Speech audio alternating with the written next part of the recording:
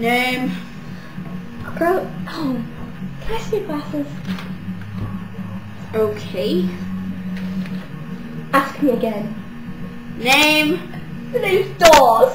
Rose Dawes. Okay, that's just great. I have four my time. Rose Dawes.